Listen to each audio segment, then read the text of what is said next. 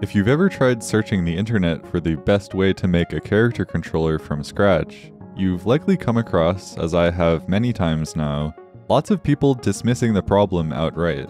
Just use a dynamic rigid body, just float your collider off the ground, just use the built-in controller.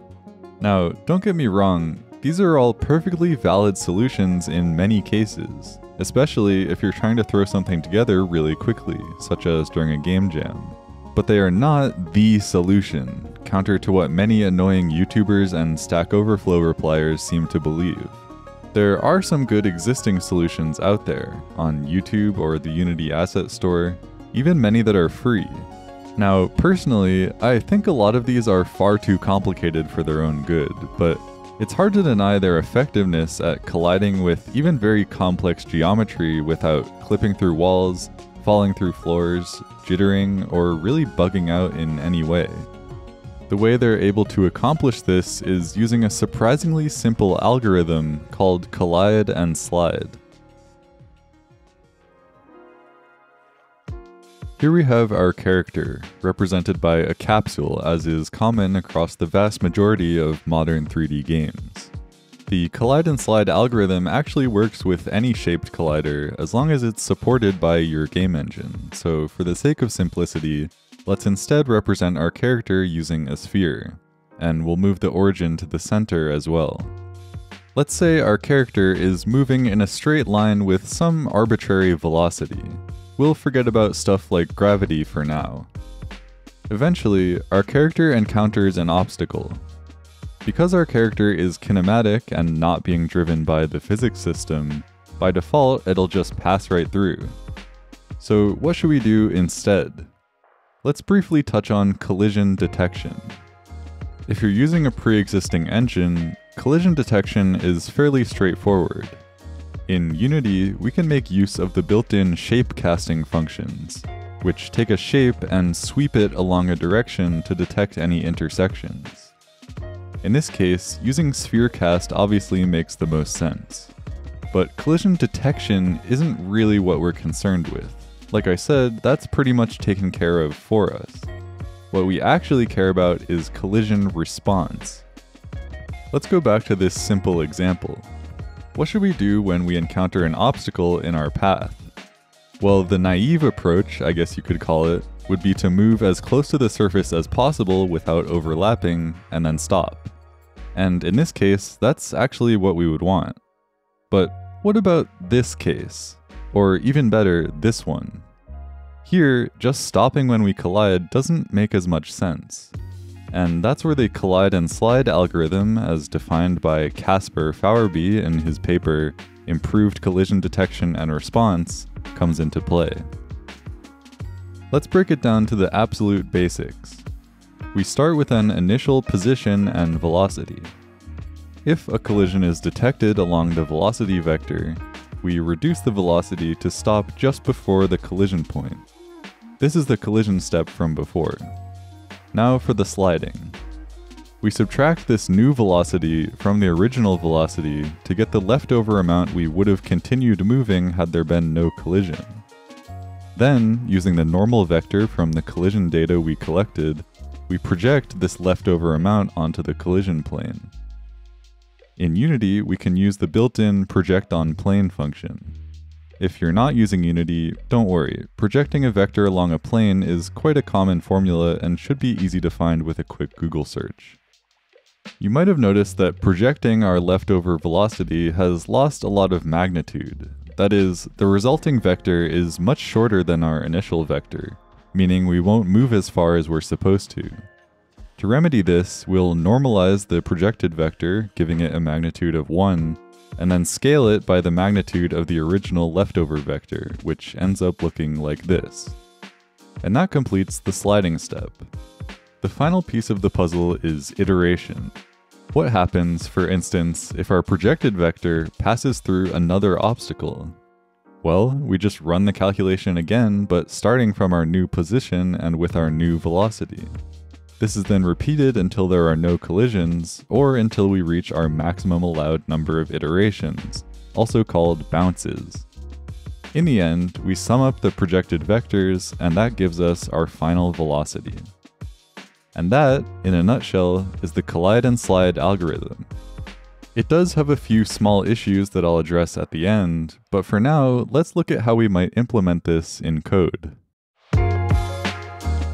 Since I'm using Unity, I'll be demonstrating using C Sharp. We'll assume that we're starting with a given velocity and we want a new velocity in return. Like we covered before, the two parameters that we absolutely need are the starting position and velocity.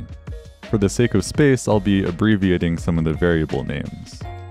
Now, you could write this function using a loop, but I find it easier to conceptualize using recursion, where each recursive step corresponds with each collision bounce. For that, we'll also need a parameter to track our current depth in order to avoid a stack overflow. Inside the function, we first need to define a base case that will end the recursion. We'll define a member variable to cap our recursion depth and return 0 if we reach that level.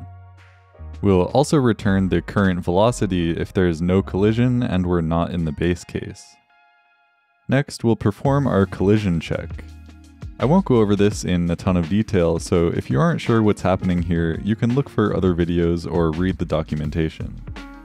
We'll start by defining a member variable for a skin width, basically a very small distance inside our collider that we start our collision checks from in order to avoid clipping through stuff due to floating point inaccuracy.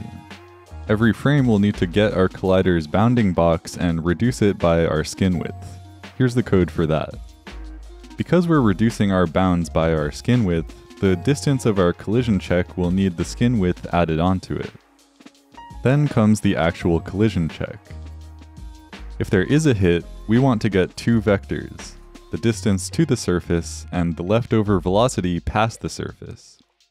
Next, we'll project the leftover vector along the surface and scale it to the correct length. And finally, the recursion step, we return the reduced velocity plus the next level of recursion. And that's collide and slide. In this basic form, there are a couple issues that we need to solve before we can use it in our character controller. The most important fix is a check to make sure that our snap to surface distance is greater than the skin width. This is to ensure that we always have enough room for our collision check to work properly. Next, there's some video gamey things that don't affect the collision directly, but are things you'd expect in a 3D game character. Currently, our character slides down any slope, even at very shallow angles.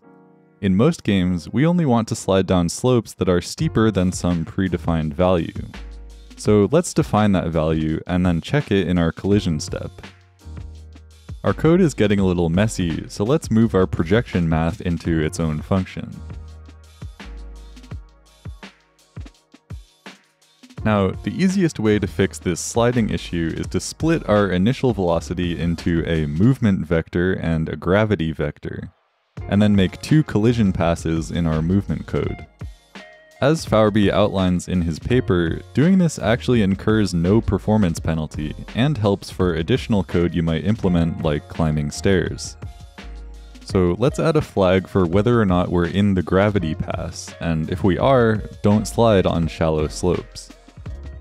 Next, we have to talk about walls, and this part is a little hard to explain, so please bear with me. Currently, our controller maintains all of its speed when sliding along a wall, no matter what angle the collision is at. You might have noticed that in most games, however, usually what happens is that moving directly into a wall stops you in your tracks, and as you try and move more parallel to the wall, your speed increases. So let's implement that. We'll need to keep track of the initial direction the player was trying to move. Next, we'll scale the velocity based on the angle between the surface normal and the initial velocity. Using the dot product conveniently gives us a value between 0 and 1, which we can then invert. Importantly, we only want to scale the horizontal movement, so the y-coordinate of the two vectors is set to 0. Lastly, we can scale the projected vector by this value. And finally, I promise this is the last thing, to avoid jittering when moving along the bottom of a steep slope, we can treat the slope as a flat wall if the controller is grounded. So here we have a full implementation of the collide and slide algorithm that's actually usable in-game. I used Spherecast for the collision check to keep it consistent with the animations, but it should work for any shape, including capsules. Now, there is still one minor issue with this code that I know of, and it's this.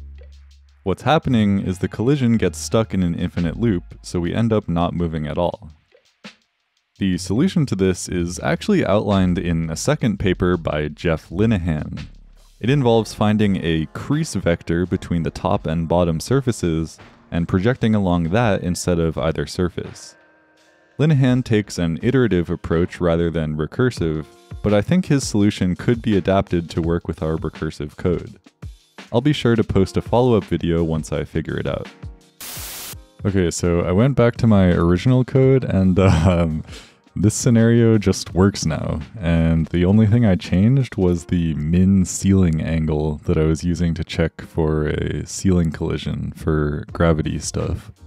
So uh, I guess the code works? I don't know. Let me know in the comments. For now, all that's left to do is apply our function to our controller's velocity. I hope you found this video helpful and it leads to more robust collision in your games. Thanks for watching, and I hope you have a nice day.